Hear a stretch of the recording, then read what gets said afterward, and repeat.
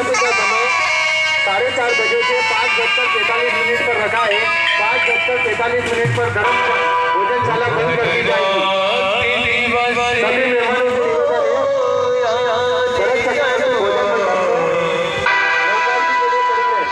मेहमानों केसरा